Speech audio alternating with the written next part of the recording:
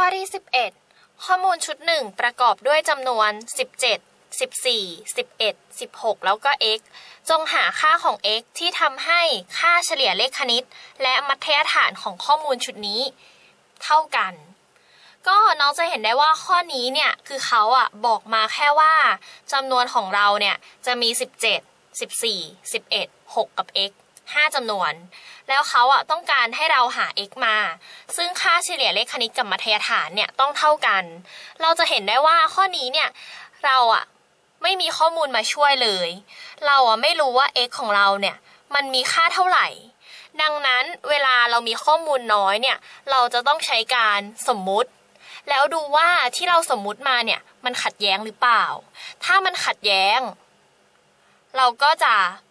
สมมุติใหม่ จนกว่าจะหาอันที่มันสอดคล้อง ก็อย่างเช่นนะ พี่อะจะสมมุติให้ x เนี่ยมันมีค่าน้อยที่สุดก่อนและน้อยกว่า 6 ด้วย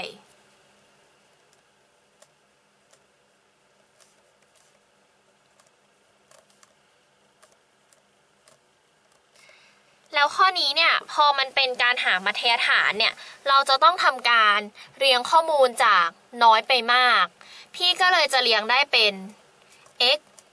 6 11 14 แล้วก็ 17 จากตรงนี้เนี่ย เราก็จะเห็นได้ว่าถ้าเราจะหามัธยฐาน เราก็จะใช้การจับคู่ เราจะเห็นว่าเราจะเหลือจำนวนตรงกลางคือ 11 เราก็จะได้มาก่อนว่ามัธยฐาน จะเท่ากับ 11 ต่อไปเราก็จะหาค่าเฉลี่ย เลขคณิต ซึ่งค่าเฉลี่ยเลขคณิตของเราเนี่ย มันคือผลรวมข้อมูลหารด้วยจำนวนข้อมูล แล้วข้อนี้เนี่ยเขาบอกว่าค่าเฉลี่ยเลขคณิตกับมัธยฐานมันจะเท่ากัน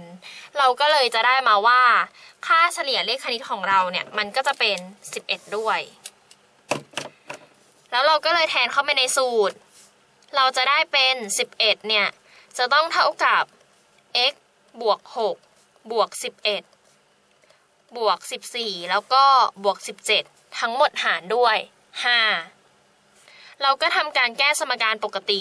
ย้าย 5 ขึ้นไปคูณ 11 ก่อน จะได้เป็น 55 เท่ากับ x บวก 6 บวก 11 บวก 14 แล้วก็บวก 17 6 บวก 11 จะกลายเป็น 17 17 บวก 14 จะกลายเป็น 31 และ 31 บวกอีก 17 ก็จะกลายเป็น 48 เราก็จะได้มาว่า 55 เนี่ย จะเท่ากับ x บวกด้วย 48 ดังนั้น x เดียวก็จะมีค่าเท่ากับ 55 ลบ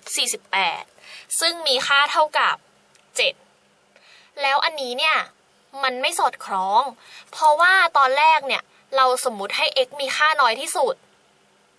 ดังนั้น x ของเราเนี่ยมันจะต้องน้อยกว่าหรือเท่ากับ 6 มันถึงจะเขียนเรียงตำแหน่งอยู่ตัวแรกได้ แล้วคราวนี้พอมันเป็น 7 เนี่ย x มันไม่ใช่ค่าน้อยที่สุดแล้ว ดังนั้นที่เราทำมาเนี่ย มันจะ ไม่สอดคล้อง เราจะตอบว่า x เป็น 7 ไม่ได้ อันนี้เนี่ยก็คือให้เราลองสมมุติ ถ้ามันขัดแย้งก็คือมันผิด เราก็ต้องสมมุติใหม่ ก็คือแบบให้เราอะลองสมมติไปเรื่อยๆนั่นแหละ งั้นต่อมา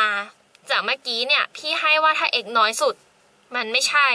พี่ก็จะลองสมมุติให้ x มีค่ามากที่สุด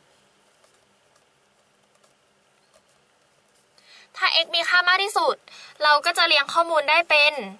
6 11 14 17 แล้วก็ เราก็จะมามองว่าถ้าเราหามัธยฐาน เราก็จะใช้การจับคู่ เราจะเห็นได้ว่ามัธยฐานเนี่ย มันจะเป็น 14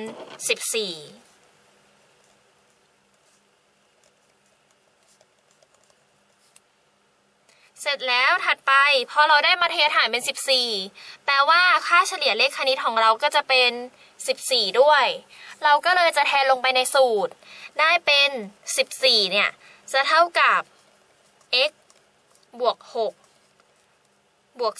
11 บวก 14 แล้วก็บวก 17 อะ เอาทุกตัวมารวมกัน แล้วก็หารด้วยทั้งหมดคือ 5 ตัว เสร็จแล้วเราก็ย้าย 5 ขึ้นไปคูณกับ 14 จะได้เป็น 70 ส่วนฝั่งขวา 6 บวก 11 บวก 14 แล้วก็บวก 17 เนี่ย มันจะมีค่าเป็น 48 เราก็เลยได้เป็น x บวก 48 ดังนั้น x เดียวของเราเนี่ย ก็จะต้องมีค่าเท่ากับ 70 ลบด้วย 48 ก็จะมีค่าเป็น 22 แล้วน้องจะเห็นได้ว่า x ที่เป็น 22 เนี่ย มันมีค่ามากที่สุดในชุดข้อมูลตัวนี้ จริง ดังนั้นเราก็สามารถตอบได้เลยว่า x ของเราเนี่ย จะมีค่าเท่ากับ 22 พอเข้าใจหลักการทำเนาะว่าถ้าสมมติข้อมูลเราไม่เพียงพอเนี่ย เราจะใช้การสมมุติ แล้วดูว่าเลขที่ได้มาเนี่ยสอดคล้องกับที่เราสมมติไว้ไหม ถ้าไม่เราก็ต้องสมมติใหม่ไปเรื่อยๆ อย่างเราอะอาจจะสามารถสมมุติให้ x เนี่ยมีค่าอยู่ระหว่าง 11 กับ 14 ก็ได้นะ คือเราสมมติได้หมดเลย คือเราจะสมมติเทียบกับตัวเลขข้อมูลที่เรามี ถ้าเราสมมุติให้ x อะอยู่ระหว่าง 11 กับ 14 เวลาเราเรียงข้อมูลใหม่อะมันก็จะเป็น 6 11 x 14 แล้วก็ 17 แต่ว่าถ้าเราทำกรณีนี้เนี่ย เราก็จะพบว่ามันก็ไม่สอดคล้อง เราก็ทำการไล่สมมุติให้ x เนี่ยอยู่ระหว่างตัวเลขตรงไหนไปเรื่อยๆ อาจจะอยู่ซ้ายสุด ตรงกลางตรงนี้ ตรงนี้ ตรงนี้ หรือตรงขวาสุดคือมากที่สุดก็ได้ ดังนั้นสรุปว่าข้อนี้เนี่ยที่เขาให้มาว่าเขามีจำนวนเป็น 17 14 11 6 แล้วก็ x เนี่ยเขาอยากหา x ที่ทำให้ค่าเฉลี่ยเลขคณิตกับมัธยฐานเท่ากันเนี่ยเราก็ต้องใช้การสมมุติว่า x เนี่ยมันอยู่ตรงไหน เวลาเราเรียงข้อมูลจากน้อยไปมาก อาจจะอยู่น้อยสุดมากสุด ตรงกลางตรงไหนระหว่าง 6 กับ 11 หรือ 11 กับ 14 อะไรอย่างนี้ เราก็ค่อยๆสมมุติทีละอัน เราก็คิดเลขออกมาว่า x ที่เราได้เนี่ยสอดคล้องกับที่เราสมมุติไหม ถ้าสอดคล้องก็ตอบได้เลย ถ้าไม่สอดคล้องก็สมมุติใหม่ จนหาคำตอบที่มันใช่ออกมา เราก็จะได้สิ่งที่โจทย์ต้องการ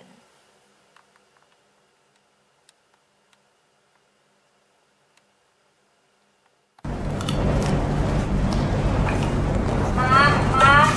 บวก กินไปดูความรู้ไปก็ได้นะคะ